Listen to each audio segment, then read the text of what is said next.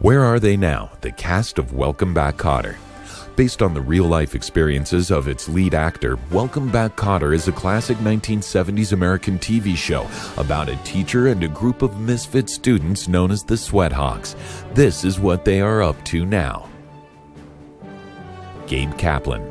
As the creator and lead actor, Kaplan was heavily involved in the show, in which he portrayed the kind hearted Gabe Kotter, a high school teacher who takes an unruly group of students under his wing. After Kotter ended its run in 1979, Kaplan mostly stuck to acting work. He's been taking it easy in the 21st century, showing up in just a few films and TV shows.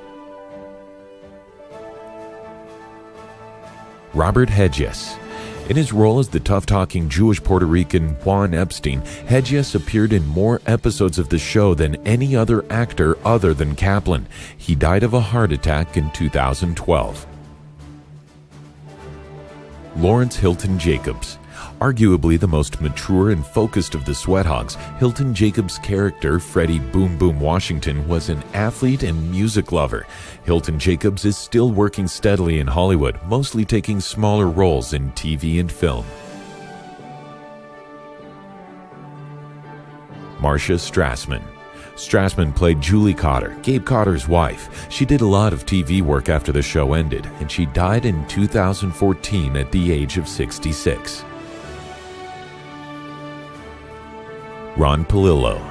Palillo made an impression as the goofy cut-up known as Horshack, a surprisingly intelligent member of the Sweathogs. Palillo made a lot of hay out of his status as a Welcome Back Kotter cast member, making many appearances as himself on nostalgia TV shows prior to his death in 2012. John Travolta.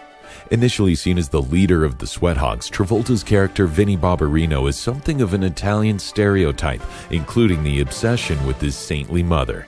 Travolta is the most successful member of the cast by far, having gone on to do a lot of interesting work in movies and at Hollywood award shows. John Sylvester White. White portrayed Michael Woodman, vice principal and later principal of Buchanan High. After the show ended, he had a role in a few TV movies The Last Song and The Legend of Sleepy Hollow, and Alice. He also had a guest spot in Mama's Family. He died in 1988 from pancreatic cancer. He was 68 years old.